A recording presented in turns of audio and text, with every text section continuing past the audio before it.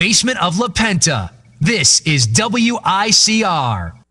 Hello, everyone. Welcome back to the Sports Vault. Jersey Joe here again, and man, there are some awkward moments in life. We all have them, but again, last night there was another one. Uh, the NBA Summer League is happening right now. Certainly I haven't watched as much of it as I did last summer. Last summer, really, I needed to see Andrew Wiggins. I really wanted to get a good look at him, so I really didn't miss one of his games in the Summer League. This summer, haven't really seen it as much, but we'll try to get to it now. But I mean, man, the other night, the George Karl and DeMarcus Cousins, I mean, George Karl comes up to Cousins, and man, the handshake just could not have been more awkward. I'm sure if you go anywhere right now, Bleacher Report, ESPN, it's, it's somewhere easy to find. But I mean, it's that relationship is just so weird, and I think the the the Sacramento Kings as an organization it just they really make you scratch your head. There there's so many different reports that come out around them. And I think in the NBA that there are patterns in the NBA. There there just are. There are patterns of losing, there are patterns of organizations who get it, and there are the, the organizations who don't get it. The uh, Miami Heat, they get how to win. They're the organizations that just draft well, have smart guys, have smart people, progressive, know what it takes, know how to do it. The Kings are one of those ones where, man, they've just been, it's been so long. I mean, we see it constantly. There are teams that are consistently in those top six NBA draft picks. The Kings are always there, and I got to be honest, I think they're going to be in the same spot. I don't know it's just such a weird group. I mean, DeMarcus Cousins, we thought he's gone. He's still there. Now, the one guy they bring in now, they bring in Rondo on a one year deal, and obviously Rondo's stock could have never been lower with the little with the drama that he pulled in, in Dallas. And I'll be I've never been a Rondo fan. I mean, before, after his injury, he was just never the same player, and even before that he had his moments, but I just for my point guard cannot be a diva. That's one of those positions. There, there are positions in sports where I just I can't negotiate. I can't have you be a diva. In point guard, quarterback, point, positions like that, there's no wiggle room. You have to be with it. You can't be a problem. You can't cause trouble. Rondo is one of those guys, and I cannot have that with my point guard. Now, you're going to pair Rondo with a guy like DeMarcus Cousins, and again, I like DeMarcus I think DeMarcus Cousins is arguably the best center in the NBA. The numbers he puts up are outstanding, incredible but they don't translate to wins. They're th- they're putting up numbers in the NBA and there's putting up numbers and translating to wins. Carmelo puts up a lot of numbers. Do they translate to wins? No.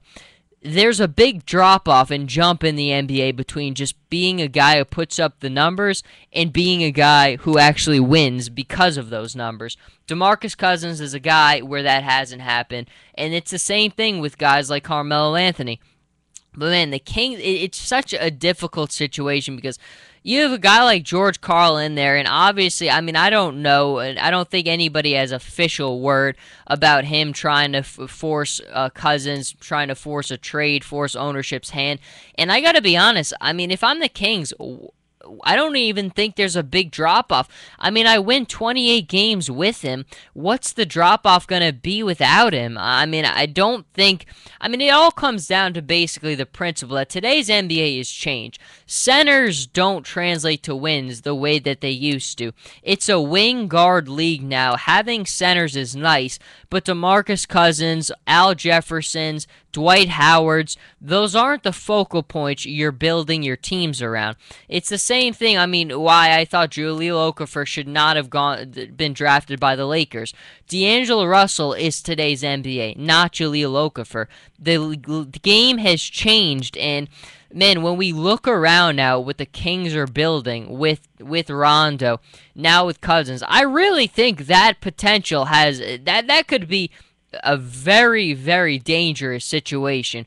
You already have Cousins who, with Karl and him, absolutely are not on the same standing with one another. There's, uh, I think, what happened this summer before the NBA draft with all that talk, that relationship is is just spoiled. Now you bring in a guy like Rondo who is notorious. He has feuded with Doc Rivers. He feuded with Rick Carlisle. You know what both those guys have? NBA championship rings on their finger. And then now you've got going to a guy like George Karl, well, he doesn't have a ring on his finger, but he's a guy who has as much experience as anybody. If he can't get along with Doc Rivers and Rick Carlisle, how in the world is he going to get in get along with George Karl?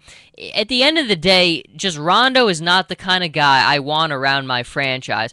And for the Sacramento Kings, who are an organization who need to get as far away from players like Rondo as possible, I think it's a horrible signing. Now, it is a one year deal, so it's not the end of the world on that. But man, again, you've got to just think at the end of the day about the mindset of the players that you have.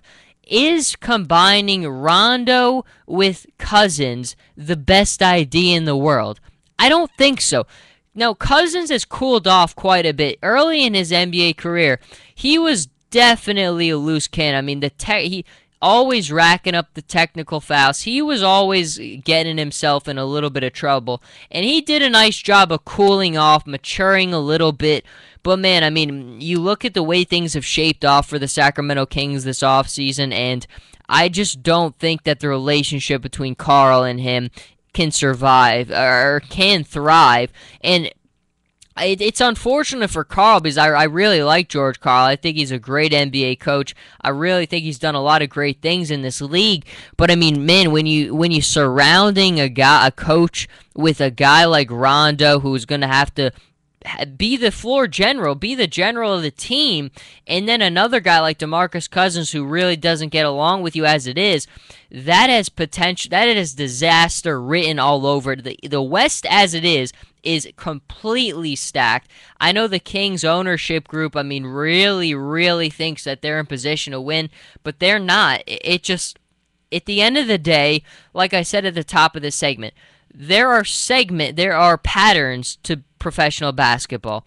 Certain teams display these patterns more than others. The Kings are one of those. There's a pattern of losing. It is a culture of losing, and I do not see that culture of losing ending. And it, it just it, a lot of it comes down to decision making.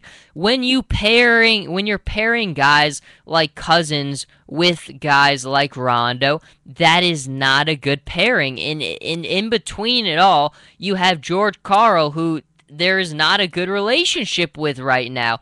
Now, I just it's a mess. It really is. I mean, I don't know what what you do uh, here. I mean, trading Cousins. I know the the owner, the the Kings owner, just has no it did not ever want to do that. He, I mean, I could see why you would be enthralled with his talent, but at the same time, you've got to look at it. Yeah, this guy's putting up big numbers. This guy's doing great things but it doesn't translate to wins. You're winning 28 games. You're not going to win more. It just it's a tough spot to be in, and I know the Kings do have a pretty nice fan base there. So I mean, it's it's it's a tough situation to be in, but it just comes down to decision making. You're not making good decisions. When you're an organization, as an organization, you make the decisions. You know who makes decisions as an organization? The Miami Heat. The Miami Heat have a lot of championship pedigree to them. Pat Riley, a guy who makes good decisions. Pairing Rondo with DeMarcus Cousins, you think Pat Riley, a guy like Pat Riley, would have done that? I don't think so. It's just at the end of the day, you've got to be smarter than the room, and the Kings are just not smarter than the room. It, it's not a good situation. Just I'm not a fan of Rondo. I don't ever. Again, you've got to think of it. Think of it like a CEO of a of a Fortune 500 company. Are you gonna want a guy leading your company who's gonna be cause problems with other other business partners, going to turn other people off, going to be difficult to deal with? Absolutely not. And it's the same thing in professional sports. If you're a quarterback, if you're a point guard, if you're worried about your point guard blowing up the locker room, causing problems, rift with the coach, do all those things sound like something that you want? Absolutely not. I know, again, it's a one year deal, but I stick stay as far away from Rondo as possible. Again, there's a reason that the Sacramento Kings signed Rondo and a team like the Lakers did not. The Lakers have their problems too, but they're smarter than the room, and they're not touching a guy like Rondo. Not a fan, never have been. Thought his game's always been overrated, and more than anything, I don't need that mentality messing up my chemistry of my team. And if you're an organization like the Kings, who just you, you don't need that, but they have him, and I got to be honest, I think that the, the, results are not going to prove very well for the Sacramento Kings. Tough times, though, in Sacramento. Don't go anywhere. I'm up against the clock, but we'll be back again soon. And, uh, man, there's just so much to talk about. And I'm in my glory over here, folks. Don't go anywhere.